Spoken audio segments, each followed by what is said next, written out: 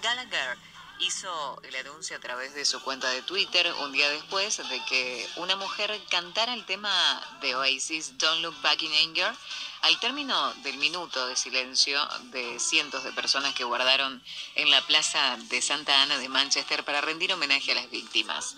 El cantante se va a presentar el 30 de mayo en su ciudad natal para recaudar fondos entonces pues, que se destinarán a las víctimas del atentado del lunes, en el que 22 personas murieron y 64 resultaron heridas.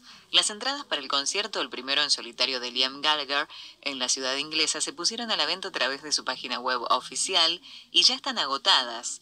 El músico declaró a medios locales que tras conocer lo ocurrido en el Manchester Arena, el pasado lunes inmediatamente supo que tenía que hacer algo.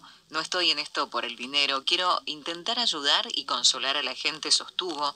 Liam Gallagher lanzará entonces, bueno, este concierto a beneficio para colaborar y también su nuevo disco el próximo mes de octubre. Otro dato para los fanáticos y hablábamos del costado solidario de Liam Gallagher, uno de los hermanos Gallagher, los ex Oasis, a quienes vamos a escuchar en Frecuencia Plus, recordando parte de sus éxitos cuando estaban juntos. Don't Look Back in Anger para acercarnos a la hora 16.